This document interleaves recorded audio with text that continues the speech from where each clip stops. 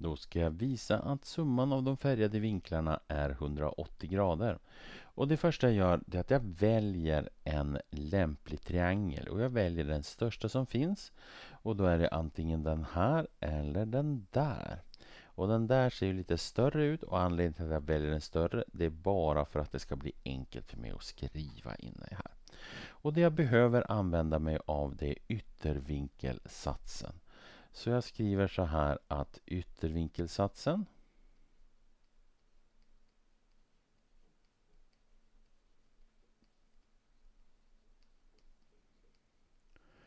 ger här då följande.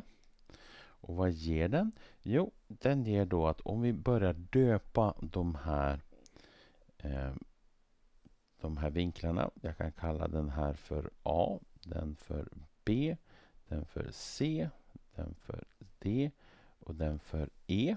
Sådär. Och då så får jag här då en yttervinkel. Nu ska vi se hur vi får till det. Om här så har jag en yttervinkel till den här triangeln som ser ut så här. Så, jag tar och ritar upp den tror jag. Jag ritar upp den första. Så här får jag en triangel som ser ut så där. Och den här vinkeln, den här lilla rackaren, den är ju yttervinkel till den här triangeln. Så den här vinkeln som vi kan kalla för x, den är detsamma som c plus e. Så x här är lika med c plus e. Sådär. Och den här vinkeln som finns här, den kallar jag för vinkeln y. Och så ska jag försöka rita den också. Prova att rita rosa. Och då ska vi se vilken triangel är vinkeln y yttervinkel till. Jo, det är den här triangeln som är där. Som går dit bort och som går dit bort. Så där. Så den här vinkeln y då. Y, den är lika med B och D. B plus D. Sådär.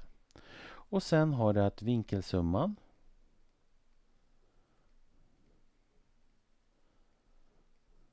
i en triangel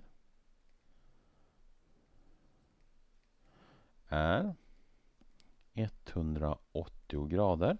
Så den här vinkeln A adderat med den vinkeln som är x adderat med den vinkeln som är y är lika med 180 grader. Men nu vet jag ju att x det är ju detsamma som c plus e och y det är detsamma som b plus d. Så att jag ersätter x och y med det här då. Så får jag att a plus x här som är c plus e plus y som är b plus d. b plus d. Det här är lika med 180 grader. Och så sätter jag de här i bokstavsordning.